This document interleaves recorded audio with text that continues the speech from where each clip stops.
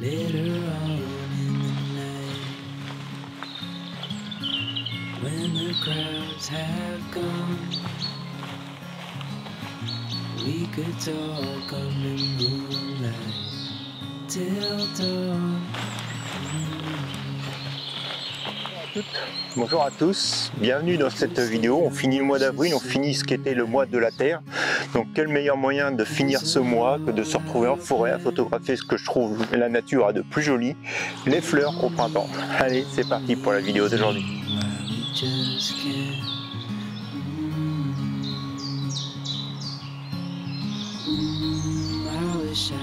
Alors voilà, je suis pas, je suis pas très très fan de tous ces mois qui soient des mois ou des journées consacrées à quelque chose en particulier parce que je me dis qu'on a 365 ou 366 jours comme cette année euh, pour s'intéresser à ces sujets et qu'on n'a pas forcément besoin d'une journée spéciale et que la journée ou le mois spécial finalement détourne l'attention les autres jours ou mois euh, de l'année euh, de cet événement.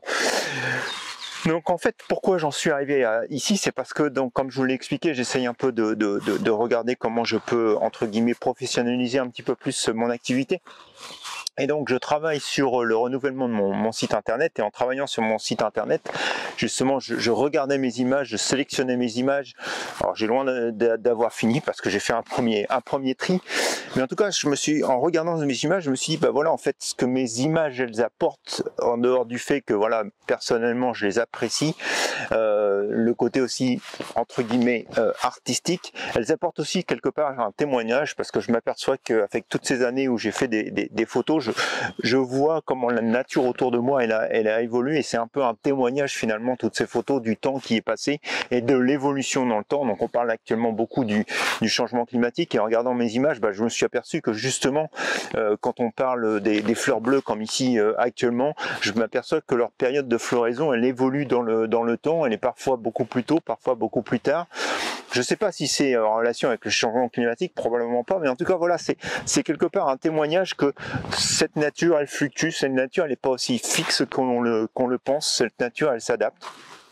Et donc voilà, c'est pour ça que ça m'a fait un peu euh, mettre en relation ce que j'étais en train de faire, euh, mon travail pour le site internet et puis euh, et puis les images et, et puis bah, le, fameux mois de, la Terre. Donc là, je vais vous montrer ce que je suis en train de filmer.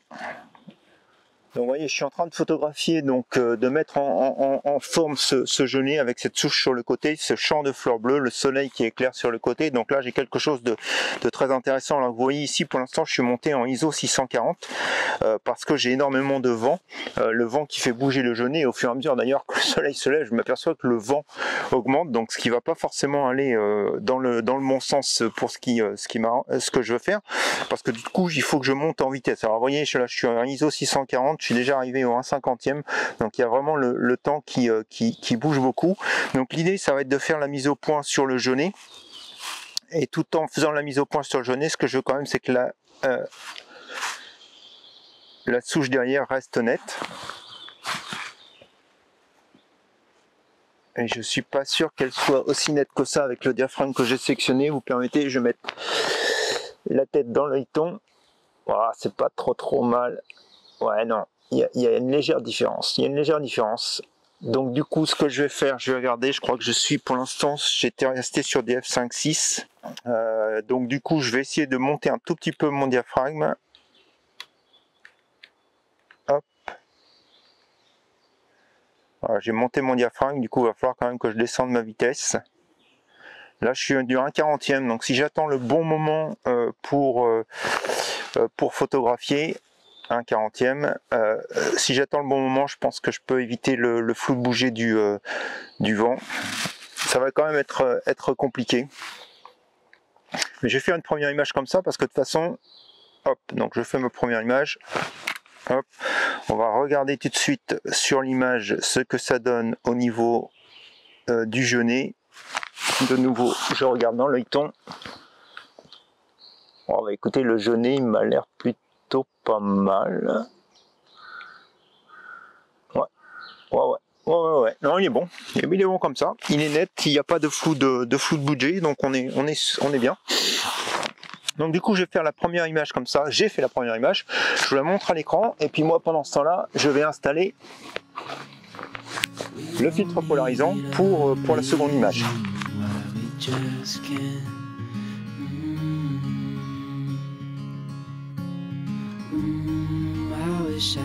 Stop time and stay in this moment. Never think about going. Won't you stay with me for a little while?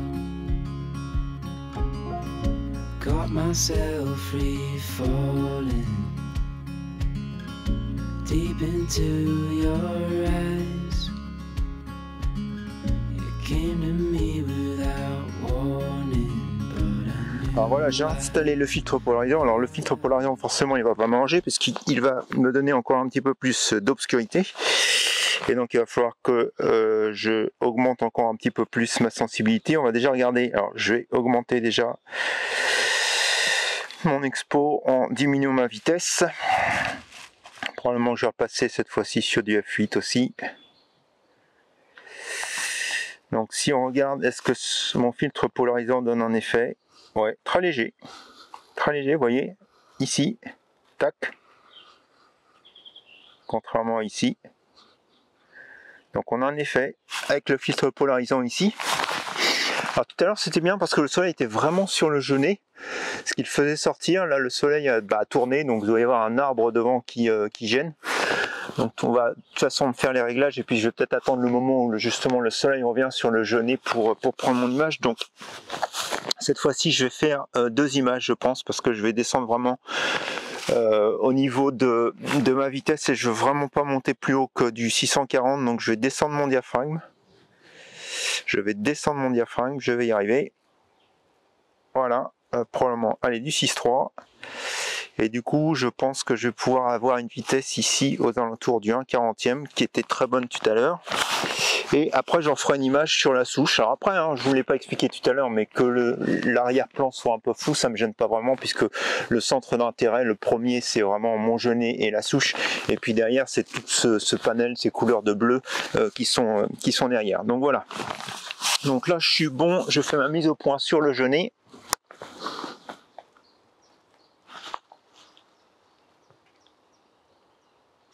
on est bon. Donc je vais faire une image comme ça sur le genêt. Hop. Une image avec la mise au point sur la souche. Et après je rassemblerai tout ça dans, euh, dans Photoshop un peu comme un Focus Tab alors je sais pas si je le ferai automatiquement si je le ferai manuel mais en tout cas on va remettre tout ça euh, dans Photoshop je vais peut-être pas vous montrer ces images, je vais voir si le soleil tourne pour éclairer un petit peu plus mon genêt, je vois qu'il est en train de, de- bouger. Et du coup je vais attendre ce moment-là, je vais prendre les, euh, les images et puis je vous les montre euh, à l'écran. Allez, à tout de suite.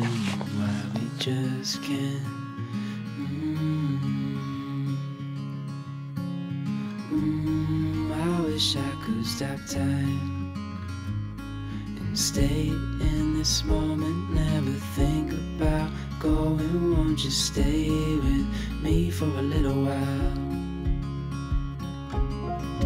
Got myself free falling deep into your eyes. You came to me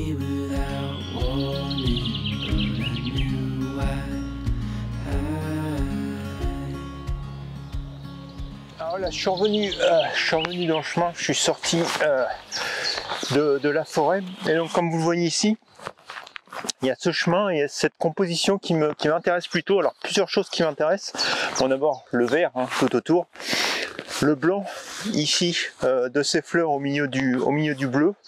Et puis, on a aussi le lierre qui commence à monter. Alors, ça fait, ça fait peut-être beaucoup de choses. Ça fait peut-être beaucoup de choses. Regarder euh, donc essayer de vous montrer ça un peu avec le avec l'appareil photo. Voir comment euh, comment on pourrait euh, on pourrait cadrer ça. Alors donc ce qui m'intéresse c'est c'est vraiment là ces, ces fleurs blanches. Hop. Donc en fait j'hésite à faire quelque chose de bas comme ceci ou de monter probablement quelque chose de plus haut. Alors j'aime bien j'aime bien le plus haut. Probablement peut-être aussi comme ça. Alors ici j'ai moins de ciel, plus de bleu au premier plan. Voilà, quoique. Alors je peux essayer aussi de bouger comme ceci, de décentrer mon chemin.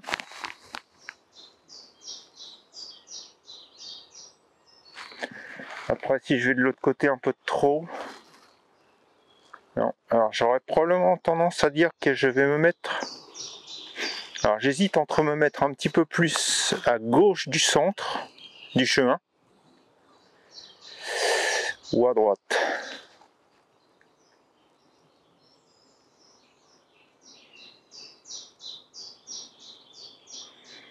Je vais plutôt me mettre comme ceci. Parce qu'en fait, vous voyez, donc je vais vous expliquer pourquoi. Je vais mettre quelque part comme ceci, parce que si je me mets sur un peu plus sur la droite, vous voyez, sur la gauche de l'image, euh, par ici, donc je fais ressortir, euh, j'ai les arbres qui sortent et ça, ça me gêne beaucoup. Alors qu'ici, euh, c'est plutôt sympa. Donc je vais me mettre comme ceci, en position. Donc probablement juste à ce niveau-là, au niveau des, au niveau des ronces.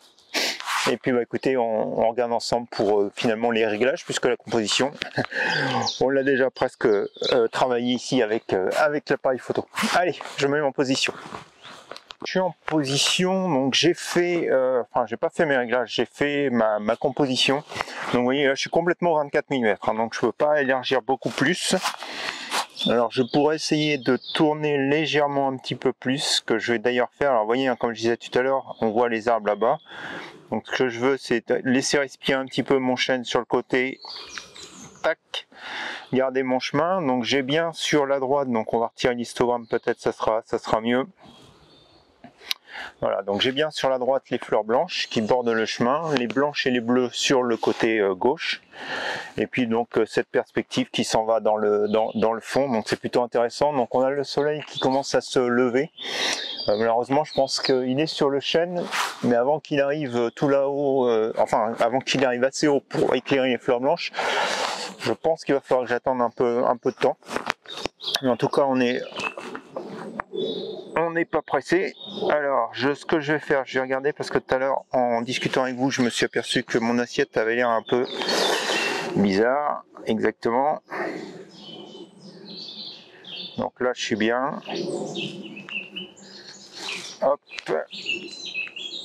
On va remettre comme ceci. Tac.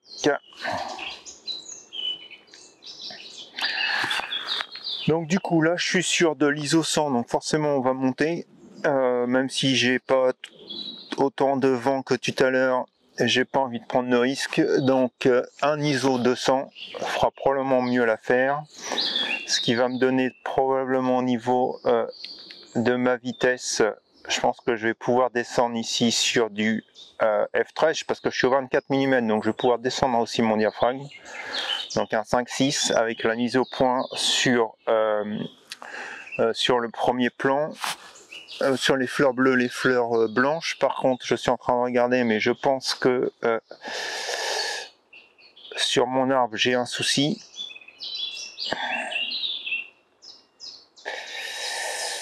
Ah Alors ce matin, il fait pas très chaud. J'ai gardé les gants qui m'ennuie un peu pour bouger les curseurs. Ouais, c'est bien ce qui me semblait. C'est bien ce qui me semblait, c'est que je suis trop bas et du coup, je coupe le lierre. Donc voilà, toc. Là, il est plus coupé. On va voir ce que ça donne sur le bas. Ça reste correct. Alors j'ai plutôt bien parce que j'ai le soleil qui éclaire sur le euh, sur le côté. Donc je vais refaire ma mise au point ici sur le euh, sur le mauvais appareil. Je fais ma mise au point ici euh, sur les fleurs bleues et je vois qu'il y a un peu de soleil qui arrive sur le côté là. C'est plutôt pas mal. Je vais regarder dans mon œilleton voir si je suis bien réglé.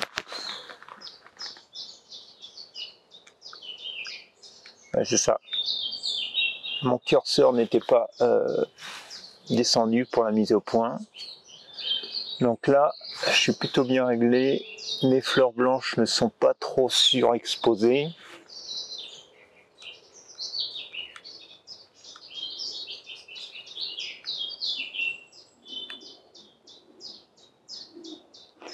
C'est bien. Alors je vais voir si je augmente un peu ma vitesse.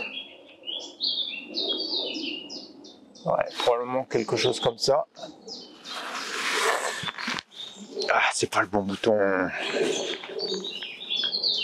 Hop Les doigts sont trop gros, ça appuie sur le bouton, sur le mauvais bouton.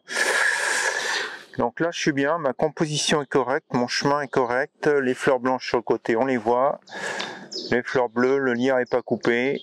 On a un peu de lumière qui arrive sur le côté. Bah écoutez, à défaut d'avoir la lumière sur les fleurs blanches, on va déjà déclencher une première image ici. Et puis je, vous laisse euh, la regarder à l'écran.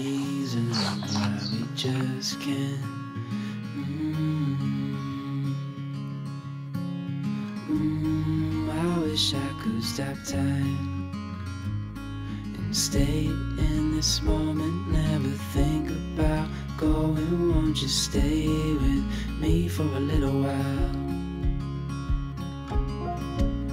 Myself free falling deep into your eyes. You came to me without warning.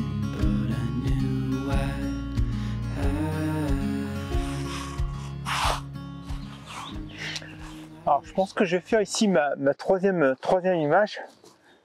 Alors, ce que j'aime bien, c'est toutes ces teintes de vert, ces contre-jours que l'on a sur les, sur les feuilles. Euh, par contre, je pense que ça va être assez compliqué de, mettre ça en, forme tout un bord parce que le soleil est juste en face de moi. Que si je monte un peu trop, bah, j'ai une percée là dans les arbres, donc j'ai du, euh, j'ai du très clair. Il va falloir vraiment que je cadre pour avoir quelque chose. Je veux intégrer ces feuilles là je veux, euh, je veux du vert derrière. Alors il y a des choses intéressantes sur ces feuilles. Est-ce que je dois m'approcher pour vraiment les rendre plus, euh, euh, plus importantes dans mon cadre ou pas? Je sais pas. Donc je vais, je vais regarder ça. je pense que ça va être quand même compliqué si je, si je les intègre. Alors ça peut être intéressant parce qu'on va avoir un plan ici qui est net, l'arrière qui serait flou et du coup ça me ça me permettrait de jouer juste avec les lumières et pas forcément avec les avec les enfin les lumières et les formes voilà. Sans pour autant aller chercher des, textures puisque tout va être euh, flou par la, focale. Et j'aurai juste mes fleurs mes feuilles qui sont nettes. Ou est-ce que j'essaye d'avoir tout euh, non pas tout net mais de faire plus quelque chose d'ensemble. Et ça serait un élément dans mon image mais pas l'élément de mon image Écoutez, je sais pas, je vais regarder, euh, je me mets en position et puis je vous explique après une fois, une fois en position les, euh, les réglages. Je me suis mis en position, finalement j'ai opté pour, euh, pour la position proche euh, ici euh, des feuilles et vraiment jouer uniquement avec la lumière. Alors le, le, le soleil éclaire vraiment fortement le chemin qui lui a été humidifié donc par la pluie, les récentes pluies, donc du coup il y a forte réflexion sur, sur le chemin, donc ça va m'obliger forcément au moment du traitement de du traitement de l'image à, corriger un peu ça parce que c'est vraiment trop trop clair. Euh, maintenant j'aime bien donc euh, ce qui, euh, ce qui se produit au niveau des lumières et des ombres dans le fond et puis donc avoir ces, ces feuilles au premier plan qui sont, qui sont donc nettes. Alors le problème c'est que tout à l'heure ils étaient vraiment en contre-jour et que maintenant elles le sont beaucoup moins. Donc c'est toujours la grosse, la grosse problématique le soleil bouge beaucoup, donc on va attendre le bon moment. Vous voyez déjà là avec le, changement un peu de, soleil ce que ça donne. Donc ma mise au point, je la fais sur mes feuilles. Euh, je suis sur du F8, je suis sur du 1 40e. Euh, alors là, je suis probablement... Euh, ouais, parce que j'ai... Alors forcément, je vois plus mes curseurs, donc il faut... Et j'ai les doigts un peu engourdis. Ça va pas être celui-là, voilà, c'est celui-ci. Il faut que je monte ma sensibilité on va probablement aller chercher du 400 ASA. Tac. Alors là, je suis euh, surexposé, mais du coup, ça va me permettre de monter un peu ma vitesse. Quelque chose comme ça, du 125e à F8. Donc en ISO 400, ah, j'ai perdu le gant. Et donc ça va me permettre de bien figer les, les feuilles parce qu'elles bougent, elles bougent pas mal. Donc voilà, écoutez, je pense que j'ai tout dit pour mon. Très honnêtement, je suis pas sûr de ma composition. Elle va demander beaucoup de, post-traitement. Euh, ensuite, sur, sur Lightroom, du fait de tous ces contrastes de lumière. Mais j'aime bien cet effet en fait d'ombre de, côté noir finalement d'ombre des chênes, des troncs des chênes et la lumière dans les feuilles et puis ces feuilles ici, euh, ici toutes, toutes naissantes. Donc voilà, je tente et puis on verra bien ce que, ce que ça donne.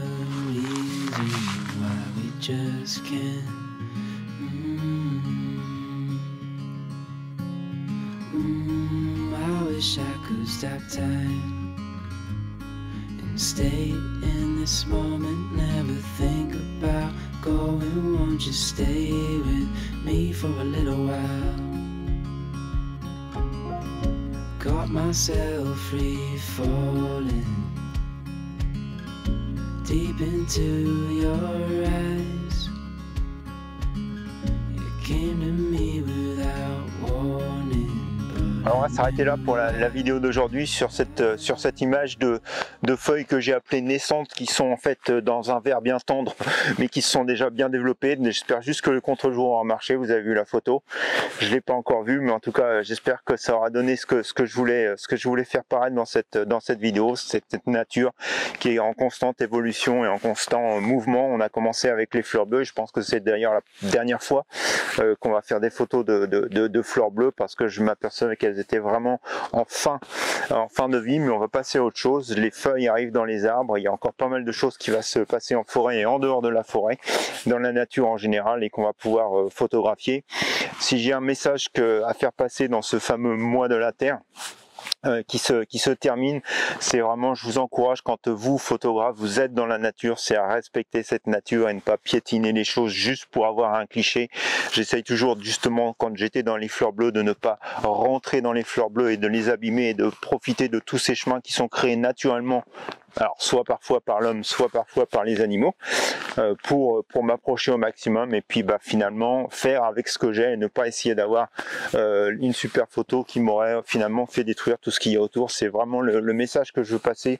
Nous en tant que photographe, on a cette responsabilité quand on est dans la nature, c'est aussi de, la respecter et de ne pas euh, de ne pas la détruire. Je vois trop de choses autour de moi parfois où juste pour une photo les gens sont prêts entre guillemets à faire n'importe quoi.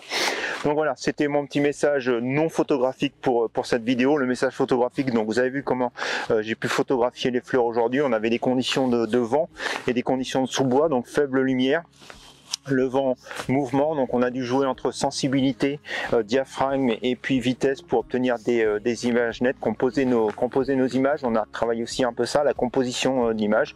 Donc en tout cas j'espère que côté photographie vous aurez aussi sorti quelque chose de cette vidéo. Si c'est le cas bah, vous connaissez la petite musique un pouce en l'air. N'hésitez pas à la partager à la commenter. Et puis il me reste plus qu'à vous souhaiter un bon dimanche une bonne semaine. Et puis on se dit à la semaine prochaine pour de nouvelles expériences photographiques. Allez bonne semaine à vous. Au revoir.